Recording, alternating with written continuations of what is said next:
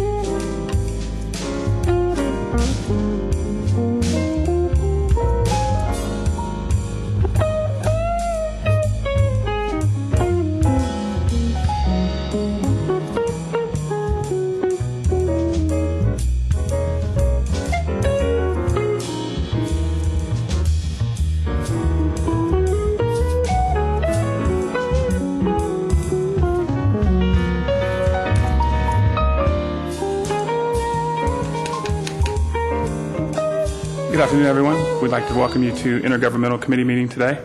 And our Madam Chair and Vice Chairs both are a little under the weather today, so I hope I, I do sit in. If we could start by having um, Mr. Harold Tate come up and present. And I'd also like to recognize Councilman Stinnett for our quorum. Okay. I don't think we have anything to vote on today. So we'll maintain quorum as long as possible, but we don't have any motions to make, so we'll be okay. Thank you.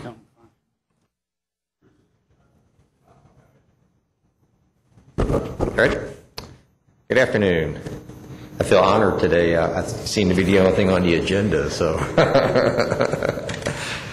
Uh, Before the break, you all, ha- I'd come and done a presentation to you all, and I believe, Councilmember Myers, you had asked me to go back and do some more research, which the board had also indicated like for me to do. So what we've done is we've gone and looked at other downtown development authorities to see uh, what their role is and how they're established, uh, how they get funding, and how they're also joined together. So uh, in your packet, you see some examples of some cities that we pulled out for your review. And I'll tell you right now, almost everyone is different. Uh, But it, it gave us some good backgrounds to look at what we could do to make some change within our own organization. And um, what, one thing we did see that was constant was the cities did give some money toward each of these authorities to help because they're doing a service for the city. Uh, in some cases, you'll see where Lexington's different, where we have a merged government, um, but most of these are cities and they can do activity anywhere in the city. But when the ordinance was created for the Downtown Development Authority, it gave the uh, right for us to do anything within Fayette County. So even though we're called the Downtown Development Authority, we do have the ability to do work throughout Fayette County and, and urban service area. One common factor that we saw in terms of uh, income was the tax increment financing. Most uh, cities, what they do, since most TIFs go through a development authority, uh, like our office does, most people meet with me and then I'll get them with Joe and we'll move forward in terms of putting the packet together. Most of the uh, cities put some percentage of the TIF payment on the project that would go back to the development authority as a means of bringing in some revenue. Uh, Since that's usually a 20-year period, that's a pretty good uh, time period to allow some funding to come in.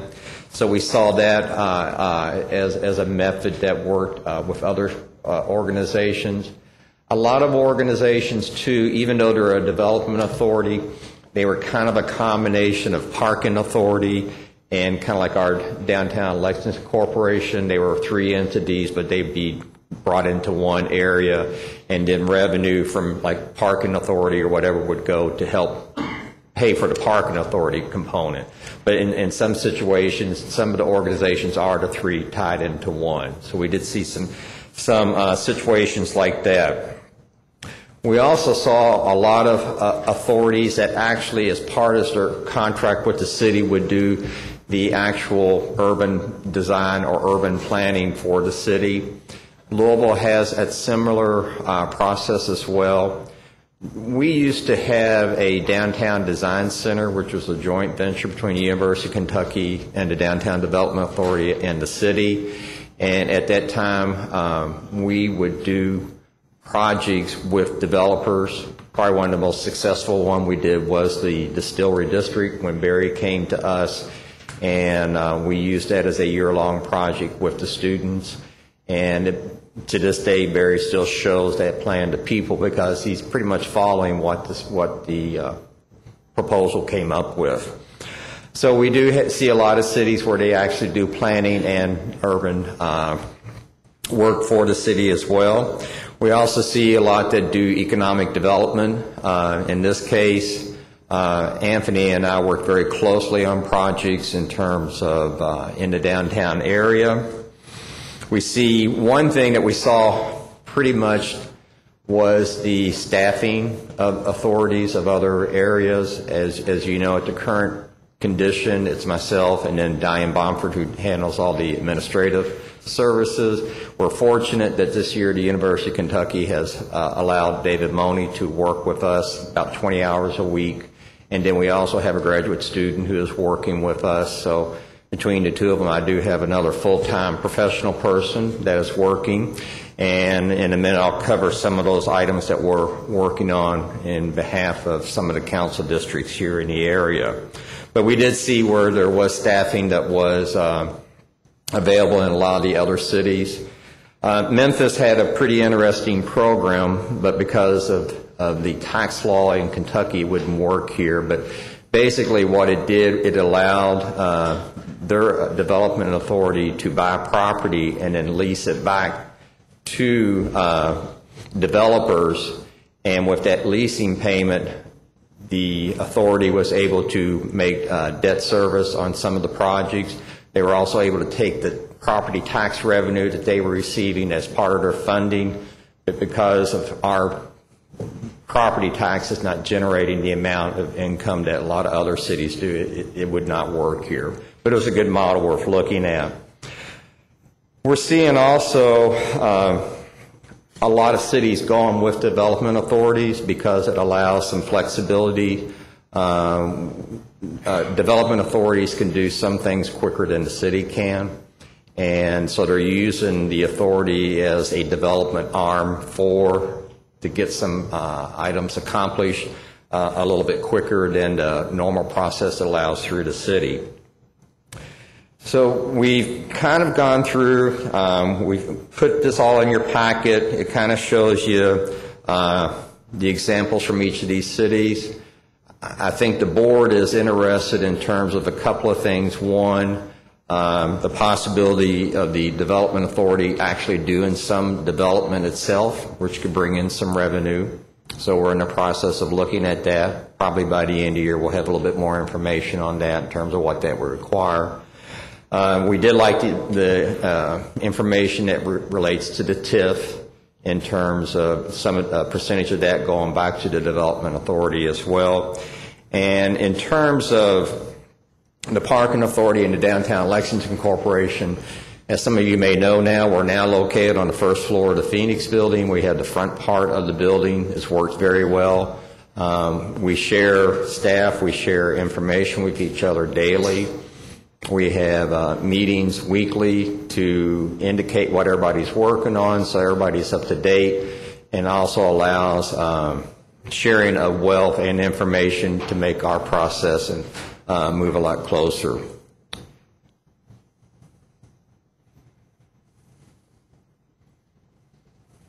Are there any, are there any questions? Mr. Blues? Harold, in, in relation to uh, our, uh, our authority, how, what, uh, how do you compare the, the, the nature of the authority that these other bodies actually have? In other words, what, what can they do that, let's say, we can't, or vice versa? Pretty much everybody is the same. We, they, they do kind of like I do. In, in some cases, I, I present stuff to the planning commission in terms of ordinances that we'd like to change, or zoning text that we'd like to change. And, and most of the other authorities do the same thing. They, even though they're a separate body, they're doing work for the city in, in one way or another. So some of the inform, some of the items that they do, they can do on their own. Some items they have to take back to the planning commission or to the governing body uh, to uh, to move forward. A, a lot has to do with funding as well. If, if if they've got adequate funding, you know, they can go out and just actually do development projects. They can do studies. They can do whatever they want. So a lot of it boils back down to the to the funding uh, mechanism that is established to maintain uh, and fund the authorities themselves. And are there, uh, in, in making this comparison, are, are, do you see certain initiatives and changes uh, and measures that you would like to see incorporated into, you know, into your shop?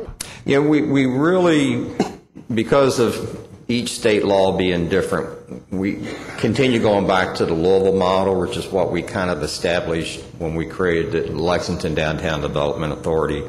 And one thing that I feel that we need to set back up is that the downtown design center that allows uh, neighborhoods, developers, whoever come to the authority to get assistance on what they can do to make their neighborhood better, how they can look at uh, sites to do potential development. Um, we probably feel that's the number one thing that we need to get back on that we don't have at the current time. Because we did the design center for about four years, I guess it was, which really helped us start a lot of projects that you see ongoing in the downtown area. So we feel that's probably the number one thing we need to get back up and running. Louisville's is still running, and it has been probably about eight years now. And what happened to ours? Uh, money, funding, by- yeah. By funding entirely? Mhm. It cost us about probably around 50,000 a year to do that.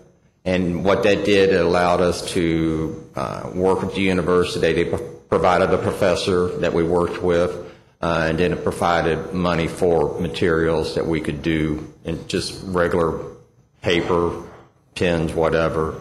And then uh, each semester, we would do a presentation at Gallery Hop. And then in some cases, we brought them before council too.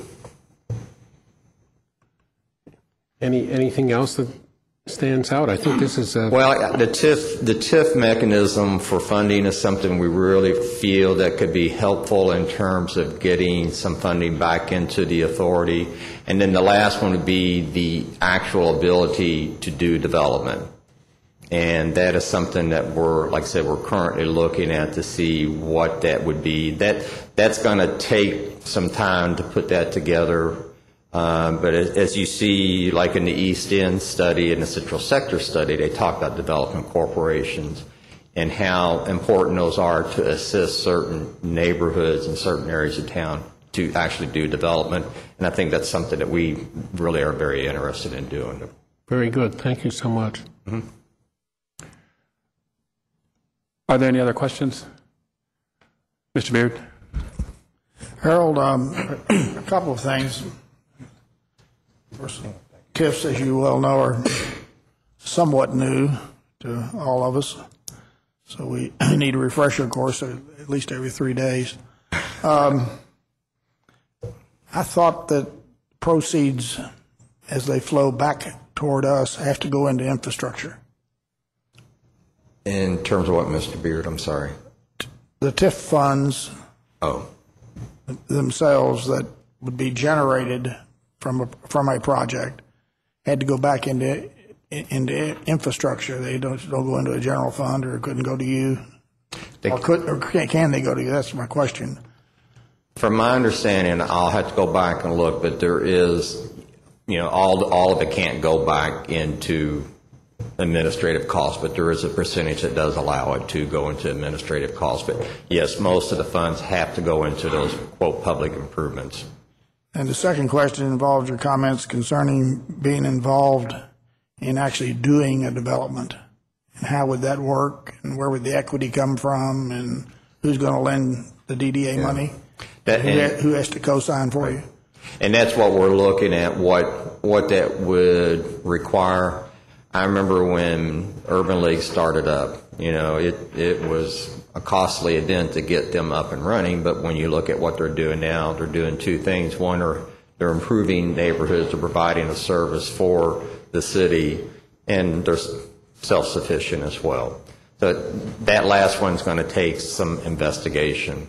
Well, you- as, as you're well aware, this climate that we're in right now, uh, the lenders are not as uh, I, I I agree with you 100%. open to uh, in- innovative ideas. They, they kind of like have hard cash sitting somewhere. That, that- uh, yes, you're exactly right on that one. Thank you, thank you, Harold. Mr. Martin? Thank you. Uh, Harold, I- in the packet that we were handed out, there's a bunch of uh, sort of summaries of other uh, downtown development authorities. I don't know whether you were planning on sort of running through each of those, um, or or whether the the group thinks that would be helpful to to sort of have an overview. Is that something, is that something you you I can do that. but- I think it'd be very interesting to sort of see uh, in a little bit more detail and a chance to, to get your thoughts on how other agencies are put together and, Okay. and uh, you know, how that might relate to how you all are set up and, and what we might transfer from the way they operate to what we might want to do for the DDA sometime down the road. Okay, that's no problem at all. If I could interrupt just for a second, too. As a part of that, when you hit a a highlight that another community is doing something that you like and would like to do, can you kind of, Sure, thank you. no problem. Uh, Like I said, each one of these are going to be different, and so remember that, like San Diego, San Diego, San Diego was created for a specific area of town, and that's why you see it's the City Center Development Corporation. Um, They are, they take an approach where they have a board, and each board is broken into a series of committees, which is something that we're looking at doing. Uh, Right now, we've created a retail committee, and I'll get into that in, in a minute. Um, board members are, uh, serve a certain period of time. They have certain requirements they have to meet, just like the Downtown Development Authority board members have certain criteria they have to meet before they can serve on the committee. Um, It is a, uh, theirs is kind of set up as part of urban renewal. It's a continuation of the urban renewal. If you all remember urban renewal from the 60s and the 70s, uh, it was an agency that was responsible for making changes within the downtown area, and the San Diego components kind of continue with that. As you can see, um, they're a component of the City of San Diego redevelopment agency budget. So that was something that was done through uh, a continuation of urban renewal. Once again, you can see on their funding, TIF, they, they uh, receive funding from the TIF on the projects. Uh, They have the ability to do bonds. We do not have the ability to do bonds, but we can come to you all if there is a project to do bonding. Um, They are one of the groups that has parking as a part of their agency, so they take some of the parking revenues that they receive to put back into their operating. And then they too do, um, uh, through the bonding, they're able to take those and invest those, and they take the interest that they receive from that to put back into their um, uh, funding agency.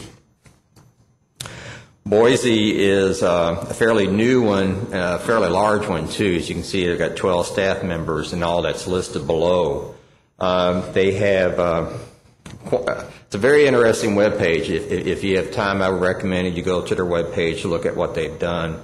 They really get involved into that master planning and urban development. If you see the committees, uh, they pretty much do all of the uh, master planning for the city itself as part of their service agreement.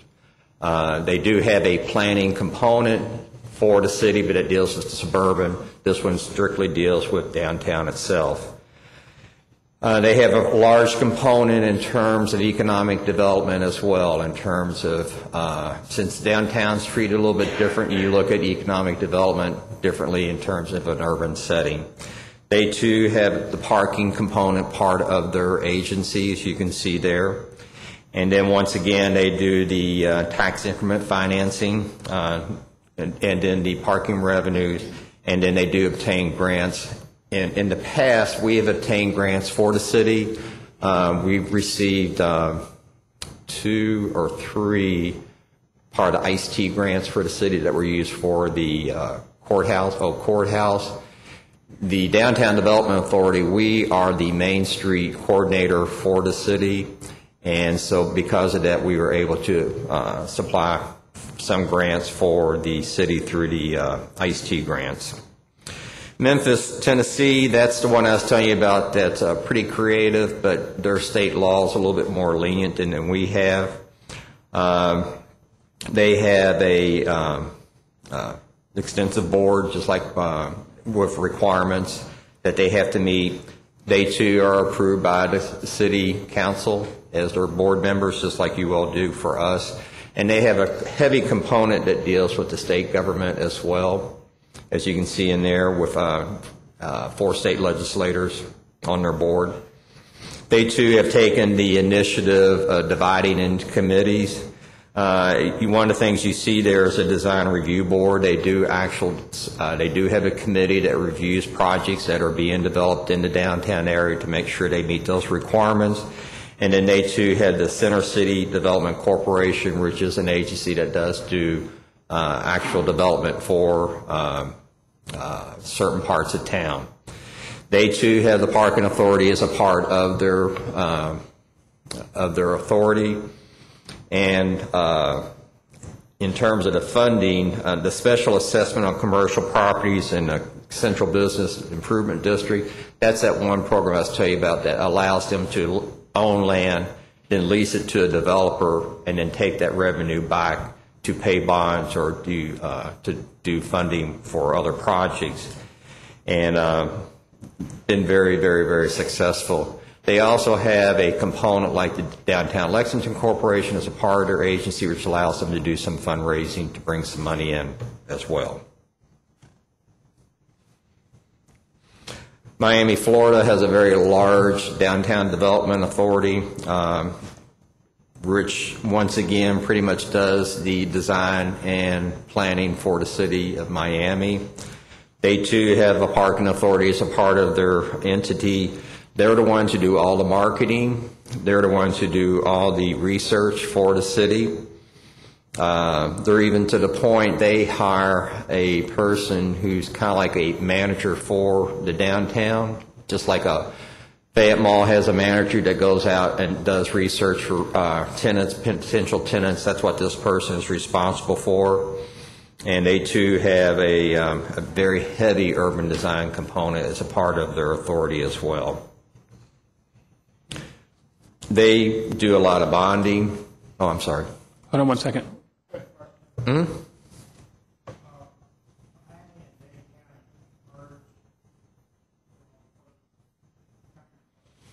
I know they were talking about, it. I don't know if they ever succeeded or not. Mhm. I'll check on that, Julian. The 404, yeah. Hmm. The city itself.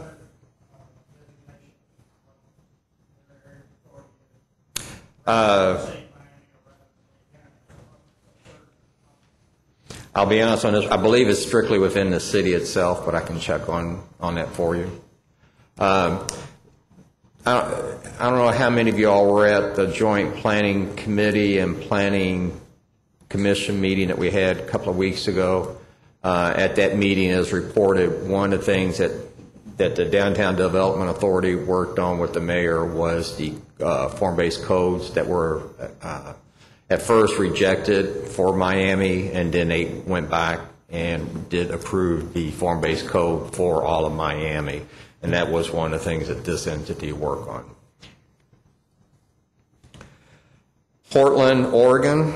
Uh, Portland is kind of one of our sister cities because they came to Lexington many years ago to look at establishing their urban service boundary. You can see they have a huge staff of over 200 people, including their own um, lawyers that work within the area. They only have five members on their commission, and they are volunteer like ours are, but they are approved by the city council and the mayor. Uh, Their budget is fairly large. They do quite an extensive ability to receive federal and state grants. Uh, They do own property, so they have income coming in on that property that they can take back into the uh, bu- uh, budget itself. They do have the TIF as well. And then uh, the city itself kicks in money that is allocated toward the the uh, development authority itself. And then they have a contract of service with the city, so they receive city money as well, just like we do. Seattle, Washington, uh, it's really more a part of the planning than it is an outside agency, but they have established themselves within uh, the planning, work with the Planning Commission, as you can see, uh, and they uh, have a volunteer board and work extensively, once again, on urban issues in terms of planning and design. Dayton, Georgia, as you can see, is a very small city, but a, a fairly heavy uh, extension in terms of what they do in terms of the downtown. Once again, they deal with more planning issues than uh, uh, a lot of other authorities do. They have uh, worked with neighborhoods, they've dealt with housing issues, and also deal more with zoning and uh, land use itself. They also had the ability to do, you know, loan programs, and they've established several loans through the city. I remember Lexington used to have a facade loan program. Uh, is no longer in exact, but they have a facade program as well that they've used. And then they've also uh, established some other loan programs to actually help develop development of businesses and uh, property in the downtown area. Ann Arbor, uh, fairly small staff, but they have four staff members. Um, They are uh, definitely interested in terms of um, dealing with downtown issues at a more detailed level. Once again, they use tax increment financing for part of their uh, ability to do projects, and they too have the parking authority under them. West Palm Beach, uh, there's not a lot of information on the sheet. They were one of the last ones that we uh, did get some information on at the last minute. Um, So I don't have a whole lot of information on, on them at the time. Louisville is a good model that we've used, as I indicated to you before. They have um, quite an extensive staff. They strictly deal with the downtown area. They do not do anything out in the suburbs. They have a fairly large board, as you can see, 25 members, and they are appointed by the mayor and the council. They too use uh, TIF financing as a means to help in terms of their funding, and they also have the ability to do bonding, which uh, allows some some creativity in terms of doing other projects. They do have a downtown design center. It's a joint venture between the University of Louisville Planning Section, the University of Kentucky College of Design, and the uh, city government. And they do a lot of the, they work extremely close with Charles Cashes, who is the Director of Planning. And at the current time, they do not have an executive director there. Uh, he was involved in an accident a few months ago where a stair uh, Chase Tower fell in a historic building, and he was in it, so he's kind of injured right now. They don't know what they're going to what they're to do in terms of moving forward, but um, but it's a good model that we've tried to follow, and uh, we'd like to get kind of back in that role again of using Louisville as as our prime candidate. Next one we have is Charleston, South Carolina. Uh, as you can see, they have eight staff members. We've been to Charleston as part of our uh, Commerce Lexington trip. They have kind of taken a more of a regional approach. They don't deal strictly with downtown itself. They're almost kind of a planning agency, kind of like the Bluegrass Area Development District. Um, but they have a component that deals strictly with downtown Charleston itself, mainly dealing with the neighborhoods that surround the historic core and deal with some of the outer lying neighborhoods. Uh, Cincinnati has uh, an authority, it's it's fairly new, Uh, don't have a lot of information on that one yet, I think they're in the process of still moving forward, I believe that may have been one that uh, Milton kind of brought with him when he came up to uh, Cincinnati. Shreveport, Louisiana, um, once again, six people. They have uh, uh, deal extensively with planning and urban design issues for the downtown. They too have a parking authority. That component is a part of their authority to allow some income to come in. And the last, um, I met with the uh, director uh, just a, a month ago when I was at the uh, conference, and uh, they're in the process of using TIF and revenue bonds allow them to do some additional funding that they've not had the ability to do in the past. Um, and then the last one we have a little bit of information on is Greeley, Colorado. Uh, it's fairly new, a small staff, but it's a fairly small city. Uh, they do use uh, tax increment financing as part of a uh, mechanism to help them in terms of their development. So, as I said, getting the TIF was very important for Lexington and Kentucky. It was an, it was an avenue that many cities that have been using for years and years for financing projects and also financing offices. That's why I keep coming back to that TIF because it is it seems to be a key element that all cities are using to help in terms of their downtown development. Thank you, Mr. Tate. Um, Ms. Lawless? Thank you, Chair. Um, On looking at, uh, so can you tell me, I've got a couple of questions. Can you tell me what long-range funding you're looking at for Lexington's DDA?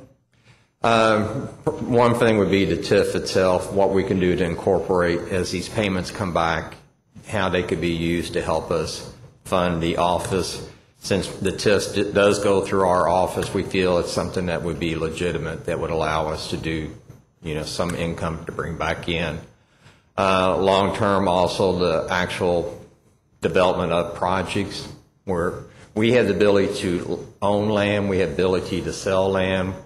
Um, So why don't we take that to the next step and go into some of these neighborhoods that need help, be the developer for them, assist the neighborhood in getting what they need, but then also assisting the city in terms of improving an area. And then using some of that revenues that comes in to, you know, it's not like you're going to make a profit on it, but at least enough to cover your expense.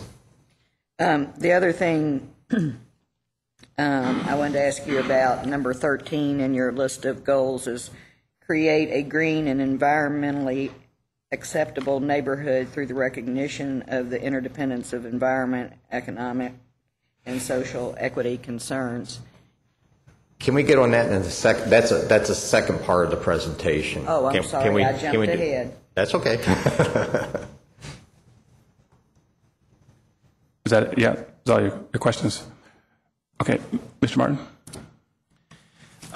Thanks. I just want to make a comment that, um, and you all probably heard me say this before, but it- it's, it's very clear, looking through this list, what other towns or, and cities are developing, uh, or are devoting to urban development, planning, and those kinds of functions. It, it really is a striking difference. And it, Lexington just simply cannot uh, sit back while other towns continue to devote resources to planning and to thinking about what it, how the town could better work, how it could be better planned, what kind of projects would would would uh, move the the econ- economy forward we just can't continually sit back and watch other folks sort of outplan us. I mean, we want to uh, uh, to create a, a, a, an environment where our our, our bright uh, talent here in Lexington can thrive and can can and have a vibrant uh, and enthusiastic city. And and I think the Downtown Development Authority is one way to do that. Uh, is to put more resources into planning and and not just a little bit, but frankly a lot. A lot of these towns are doing quite a bit more than we are. That and and with even uh, half of, or a third of the population. So I think that this is something we should continue to look at um, a- a- as a role for the Downtown Development Authority and as a way to to help invigorate Lexington through the planning process. So thank you. Thank you, Mr. Martin. I I have a couple questions if the committee will allow me to indulge myself. Um, Mr. Tate, we talked, I think it was during the planning, or during the uh, budget process about uh, specifically your board, you had two board members in that meeting, and they said that they were looking at different funding strategies. Can you, I understand that you've talked about the TIF. Let's start with that one. Are there recommendations that you need to bring to us that we need to take to the state to enable that to happen? Or is it just a matter of making that a part of the process when someone submits a TIF application? Uh, Yeah, the state, the state allows it's just the local entity making it a part of the process.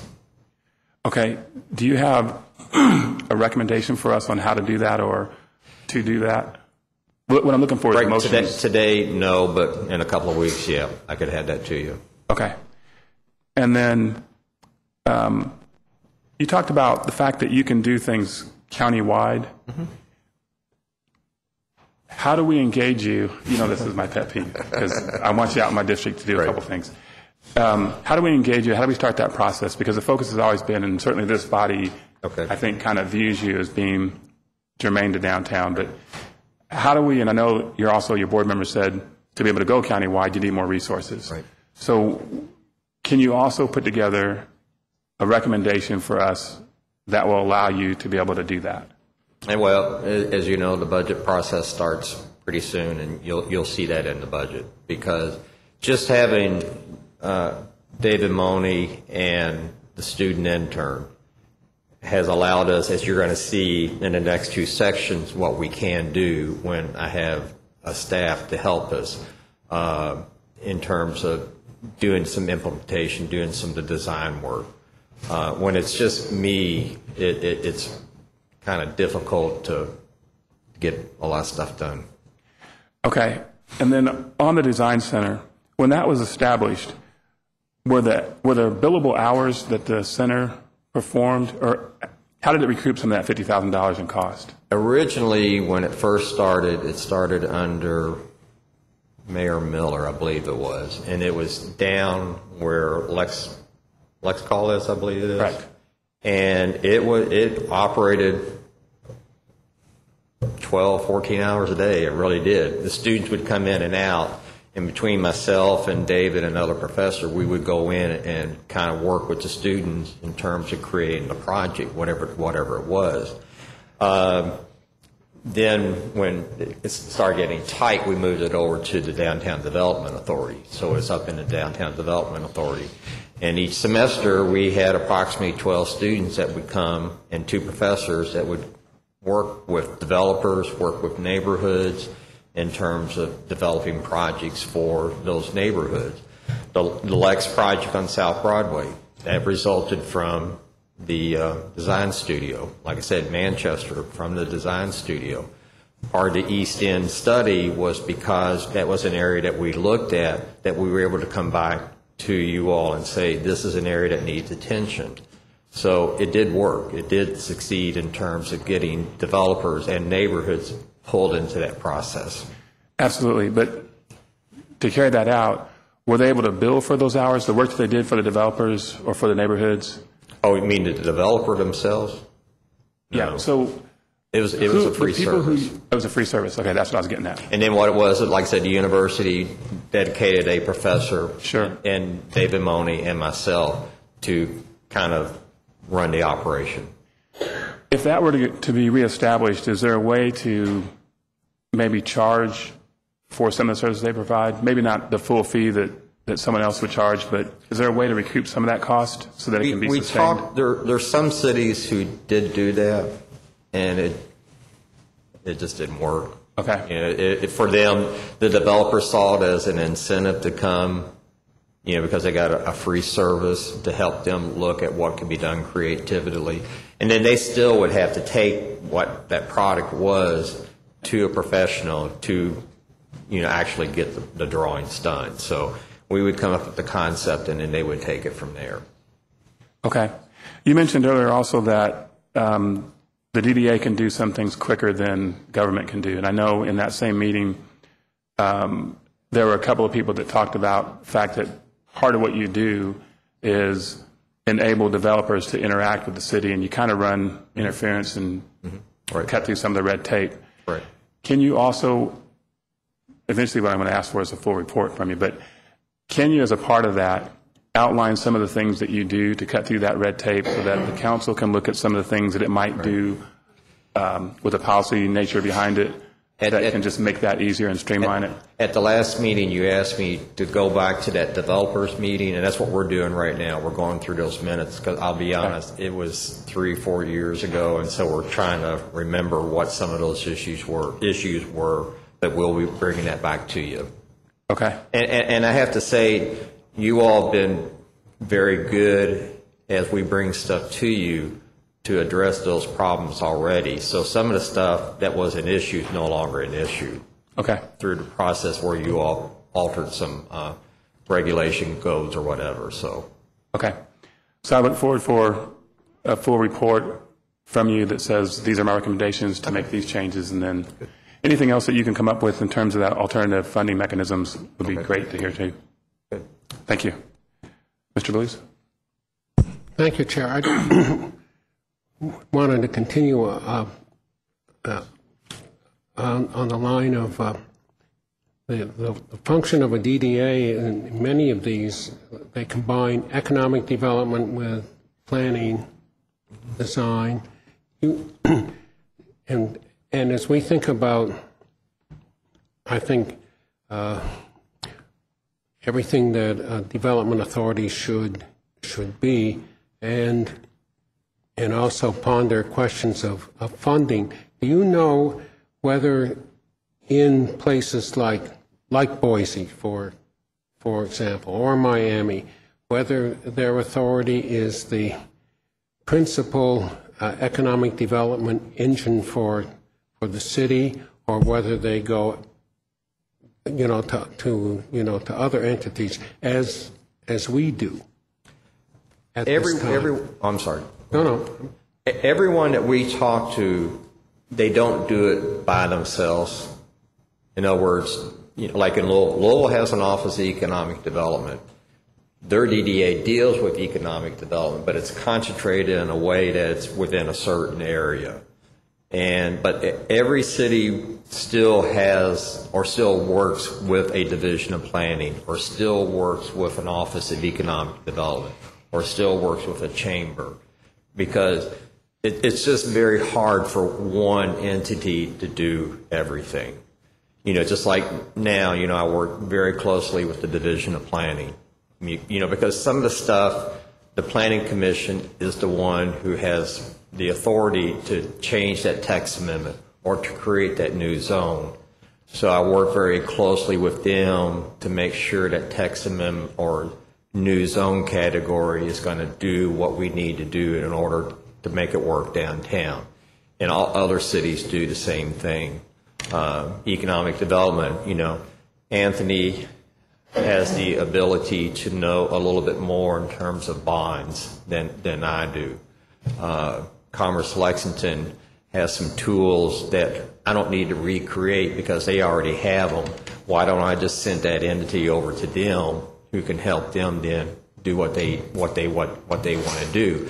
It's knowing who does what and enabling you to get to that person, which is what the developer or the retailer or the business owner is interested in.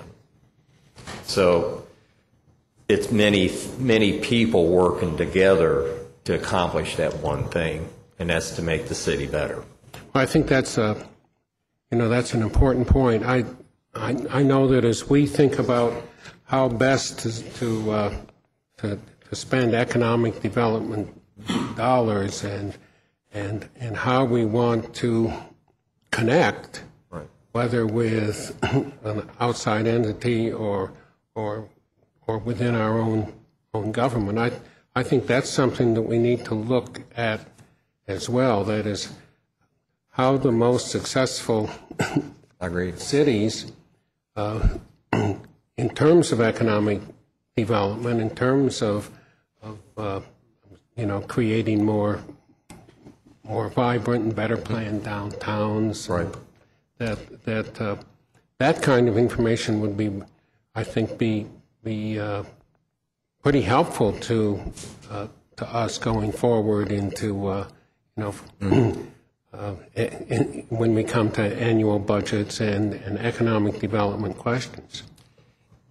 And if you don't mind, one, one thing that we've tried to do, like on our trips with Commerce Lexington, as you, as you know, we always have a quote downtown component or a development component. Because that's one of the things that we're doing, you know, at Commerce Lexington, Anthony, DLC. That's what we're doing is how do these other cities deal with those issues? How do they work together to get accomplished what we all want to be done? And each city has a different a different way, but that enables us to take those components that work and incorporate them into what we do.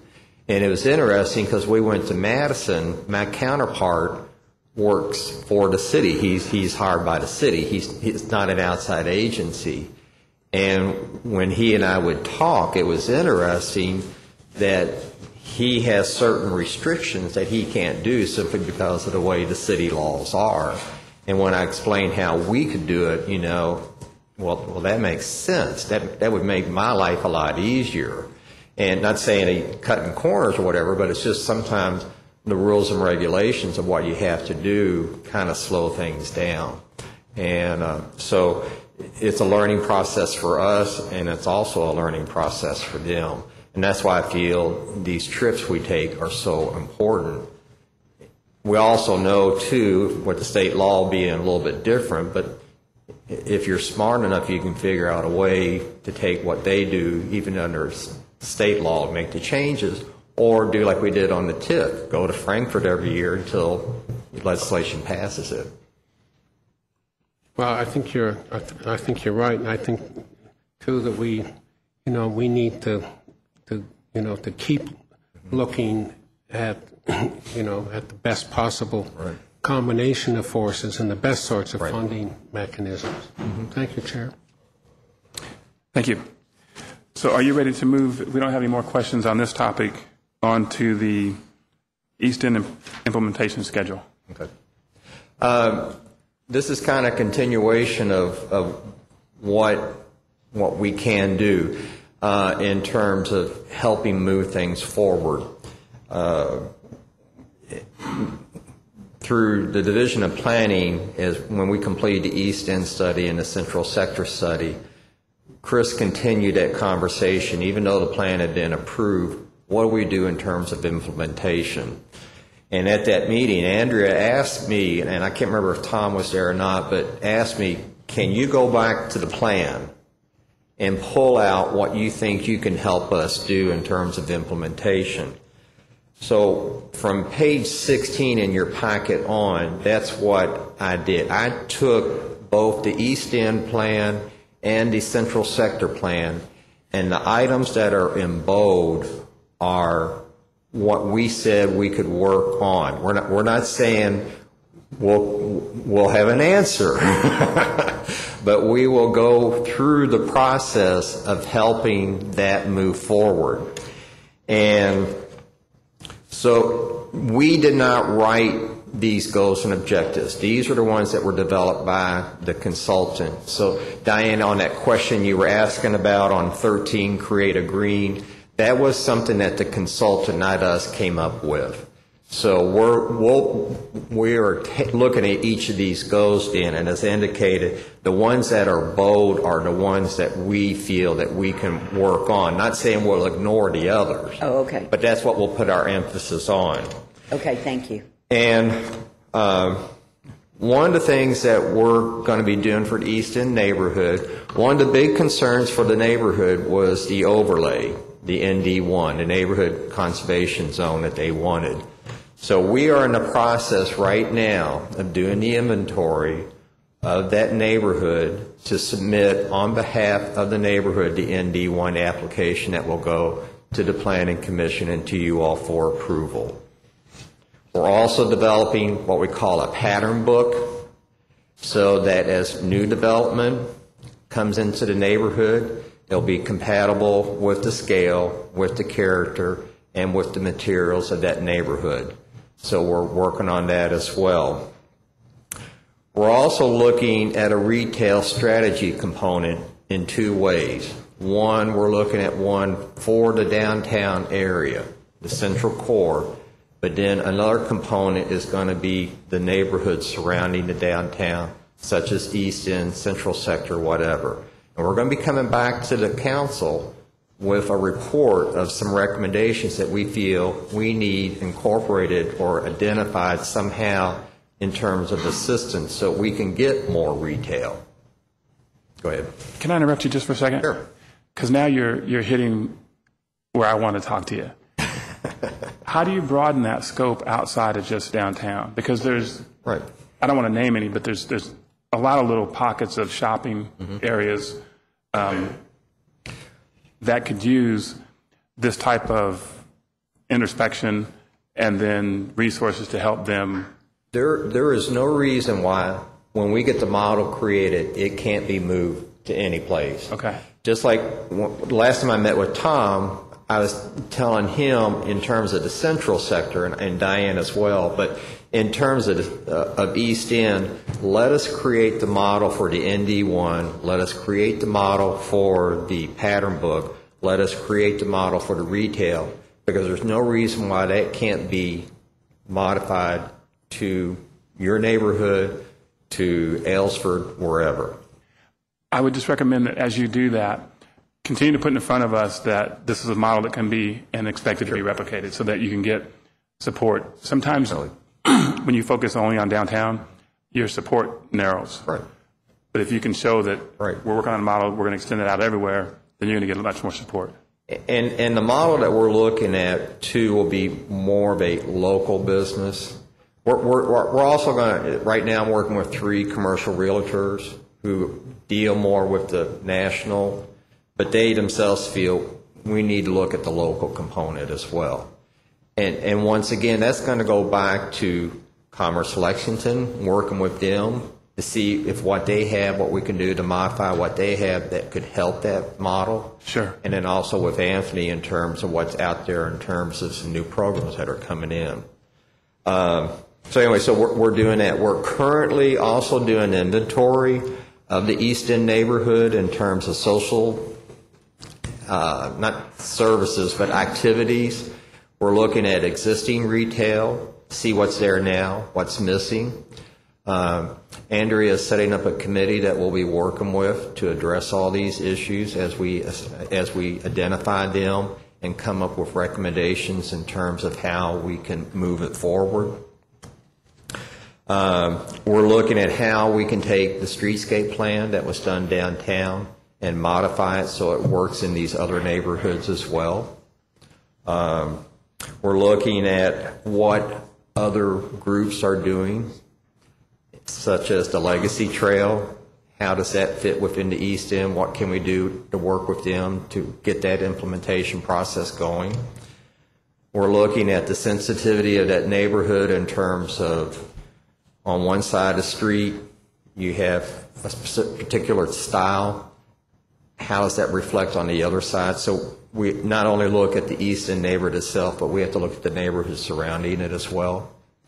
But we'll be able to take all of these models that we create, and then as I told Tom, then what we'd like to do is move it over to the central sector. Central sector has different, they have similar problems, but, but they're in a, in a different way. But I think we can look at them in terms of modifying them to implement them as well. A, a, big issue in central sector is at Newtown Pike, Third, Fourth, Loudon Avenue, Georgetown area. What's going to happen there? It's a gateway to our city. How, how do we plan that? You know, what role is the land bank going to play in terms of developing that corridor? We, we, we got to take the land bank now and get them involved and start picking up some of this critical land that we know now could play a role in the future of how those corridors and how those neighborhoods develop. So, um, we're going through, I'm not going to go through, through each one of these, but if you go through here, you'll see the boats up. These are the items that we're addressing. Um, we're hoping to have most of this completed by May of 2010. If not completed, a recommendation of what needs to move forward that will come back to you. Um, like I said, we want to try and start with the East End neighborhood first, move it into the central sector so we can see how to adjust the model, to see how we, how we do adjust that model so it can go out to Gainesway or it can go out to Kenwood, wherever it is. Um, but we're very excited about what this next year is going to be for us, and we feel it's going to be something that allows us to move in the direction of solidifying downtown that much more by taking the neighborhoods that surrounded downtown and bring them closer together to each other and as well as to downtown. Uh, we're also going to be looking at the South Broadway corridor. Uh, we've got about 12 projects in that area, and they're separate projects. We need to look at how we can bring those 12 projects together into one. So we'll be uh, doing that uh, this year. In addition, we have the Cheapside Park coming up, and we got Main Street and Vine Street that we'll be project managers on. Do we have any questions on the East End implementation schedule? Seeing that there are none, could you go ahead and talk about the guiding principles of the central sector? Well, like I said, on central sector, we'll finish up the east end first and then make the adjustments for the model and take it over to the central sector. Um, and like I said, that that's, will be within that same time period of having that completed by the uh, May of 2010. Been working with Tom on terms of setting up some meetings with some neighborhoods as well that he's working on, so we can get some input from those neighborhoods. And yeah, I got it. I got your email. So, so we're, we're, we're moving ahead on that. I still need to sit down with Peggy. I have not had time to do that yet because on that South Broadway corridor, it picks up the Red Mile area, which is in her district. So I need to get some input from her uh, as we move along. I have, I have sat down with Diane. We went over last week on South Broadway talked to her about the East End and Central Corridor, how that model could then go over to her neighborhood as well. Okay. Are there any questions? Ms. Laws? Um,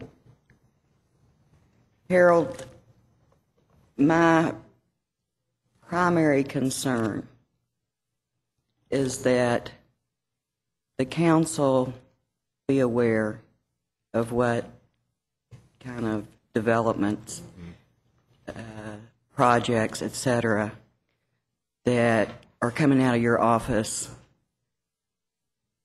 before we read about them in the newspaper or press conference or whatever.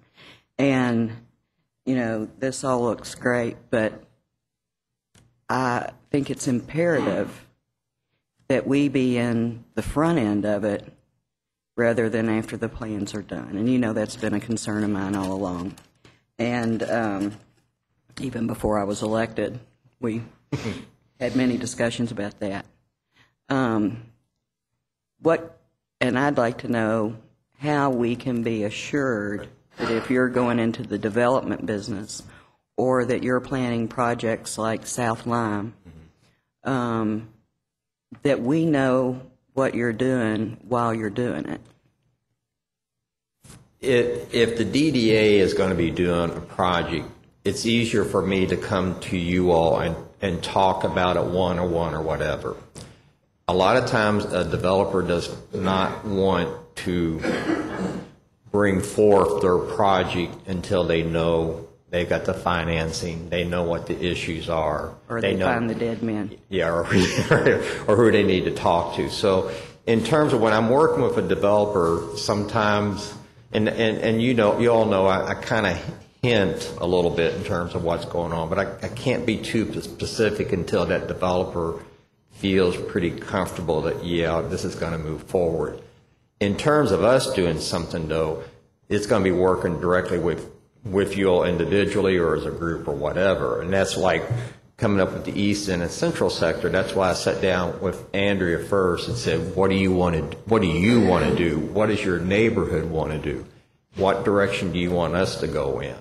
And that's why in, in her case, she wanted to set up this committee of residents and people of interest in the neighborhood. So I think that's a good model for us to use on all the projects that we would be involved in.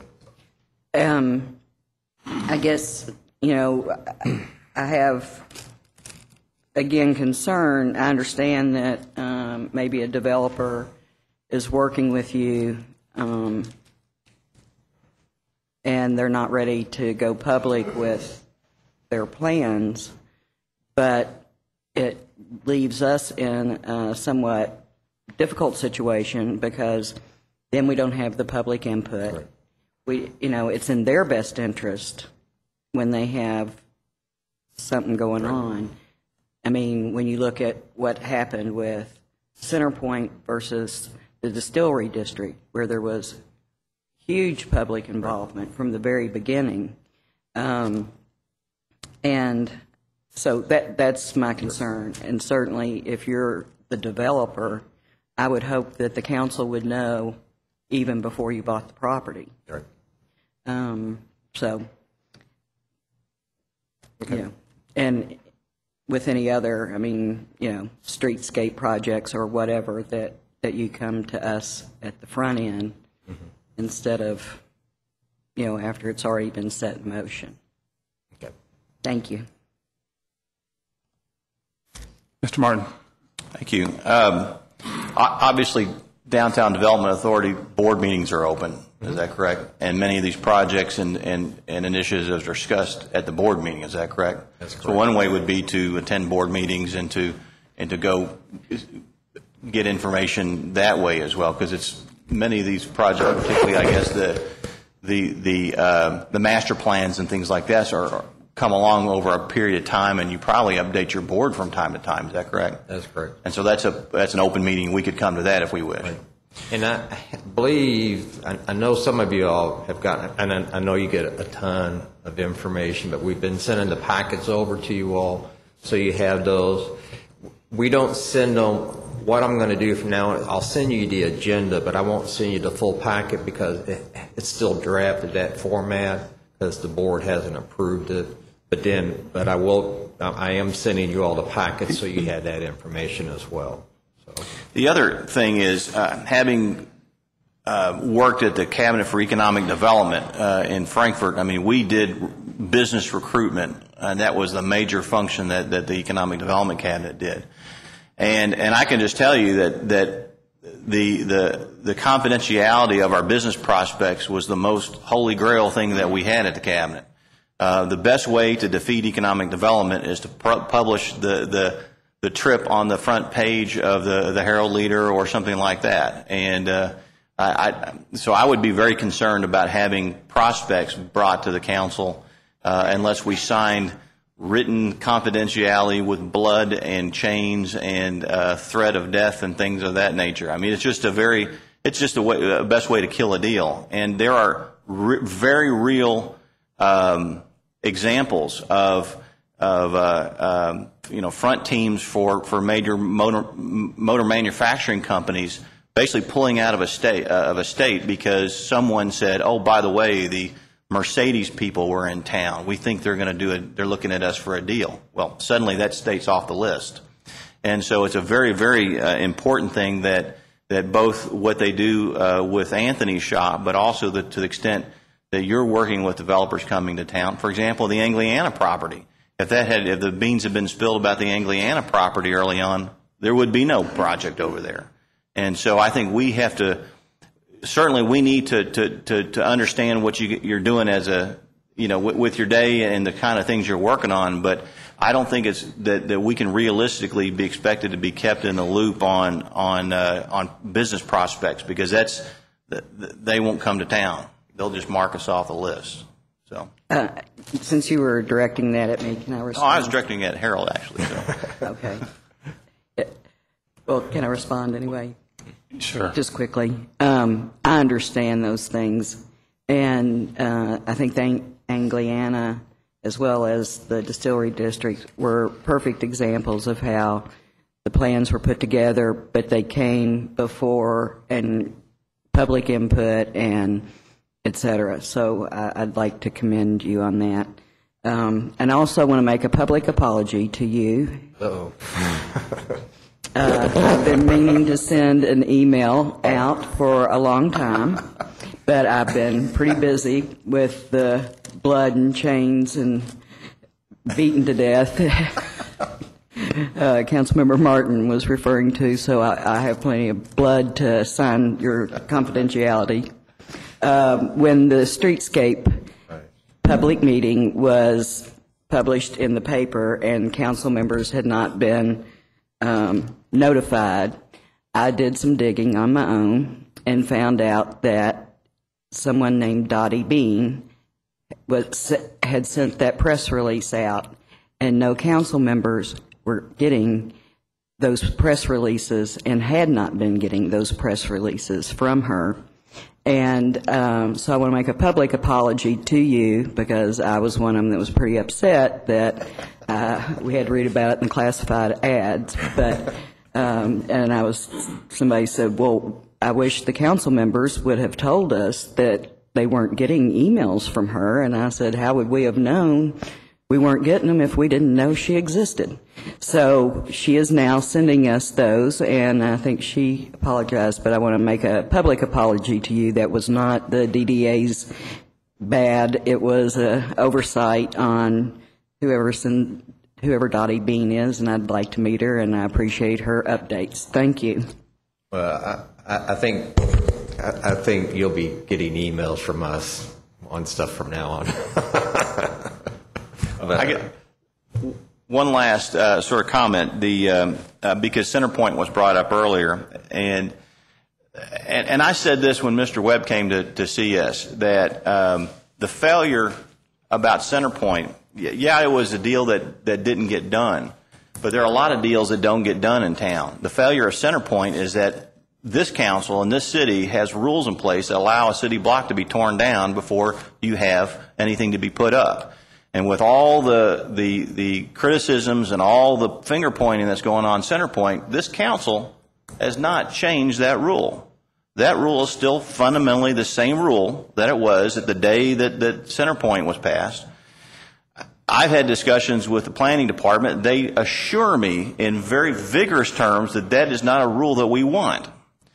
The, the, the, so the tragedy of CentrePointe is that a whole city block got torn down. You can criticize the decision to tear it down, but, but we of a city can either uh, pass a rule allowing that or disallowing that. And as far as, uh, as, as the, the, the DDA's intentions to bring, you know, big projects to town, that's what they do. And so it's our, our job to pass rules that, that govern what developers do. So, uh, um,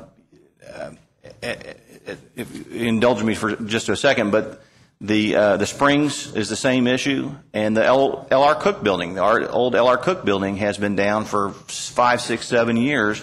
It's a it's an empty piece of grass over there, and that's the same rule that we have on on CentrePointe. So, thank you, Mr. Chair, for indulging that.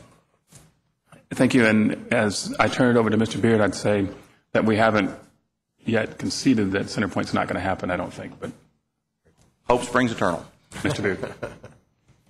Thank you, Chair. Um, Harold, how many board members do you have? Nine. Nine. Is that enough?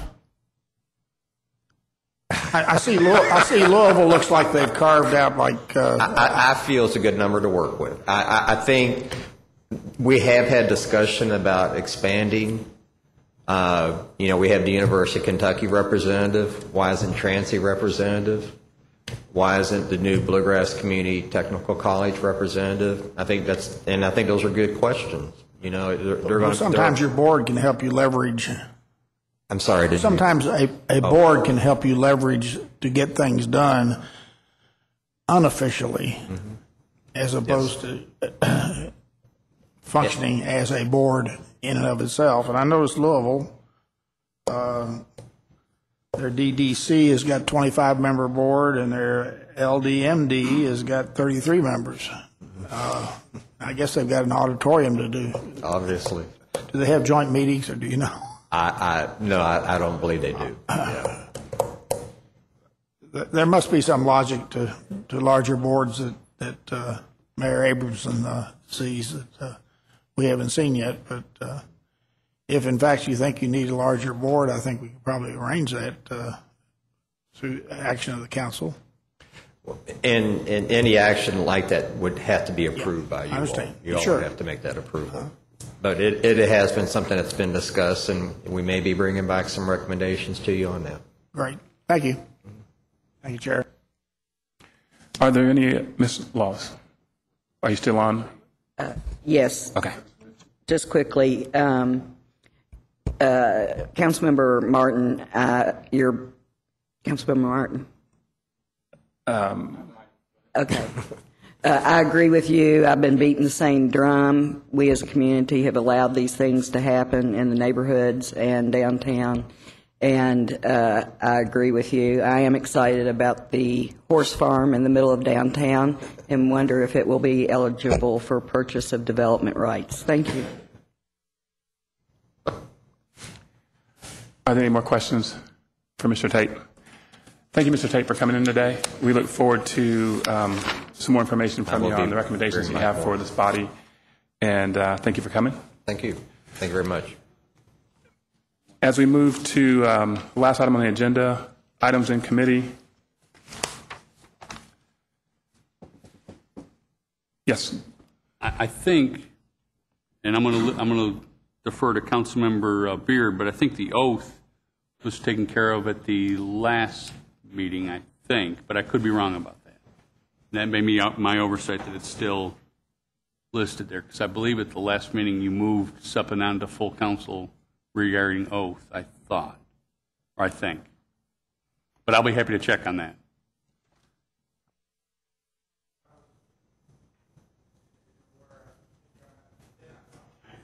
I've been out of pocket and have not been able to call a meeting of that group. And if, if need be, we can, we can crank that up again.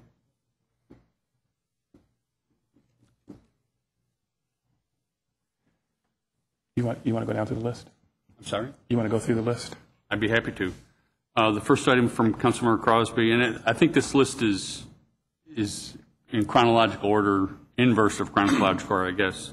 Groups that make uh, board and commission nominations from Councilmember Crosby, and I think that's still, that was discussed at this. Yeah, we, yeah. Um, We've just had the continuation of discussion of the Downtown Development Authority. I don't know if you want it still in committee. I, I I sense from some of the questions you probably do, but uh, that's going to be up to you folks. And actually, Councilmember James isn't here, but on the grievance procedure, to be honest with you, I, other than that they've asked HR to look at it, I believe this is between Human Resources and Councilmember James at this point. Um, The Citizens Advocate uh, Draft Policy and Procedures Manual, on, um, I believe Councilmember Myers uh, is, is working on that and probably ready for the next meeting or the next couple meetings. Yes, I think actually Citizens Advocate uh, Work Group, we should be ready for the next meeting, and the boards and commissions also should be ready for the next meeting. And then boards and commissions reporting, I think there's one more thing the administration wanted to report out on that, and that can probably go in that same meeting. But we'd really like to get those on the next, next meeting's agenda to get them taken care of for the years out. So the last item on that first page is the council standing committees. Uh, This committee had asked, and the full council committee, the full council, I believe, had asked uh, that there be a cow discussion on that, and that, I don't think that's been scheduled yet. So we'll check with the vice mayor today and see if we can't get that scheduled. And the last two items are from some time ago, and I'll- I'll be honest with you, I have very little information about the high-risk pay supplement. This was something uh, to be paid to, I believe, sanitation workers from Councilmember Gorton, and the new proposed, the new, the proposed new compensation system. This is something that HR and uh, Finance have, have asked to be delayed, uh, at least through the implementation of of PeopleSoft. But uh, again, I, these last two items, I know very little, have li- very little information about. Okay, if I could back up to one item, the grievance procedures. Um, This morning in the Citizens Advocate Work Group, we discussed this issue, sort of, and I think that we're going to have a recommendation as well when we come out. So we may have a recommendation that takes care of that issue. So are there any other questions? Have a motion to adjourn? Got a motion and a second? All those in favor say aye. Aye. Those against? That passes.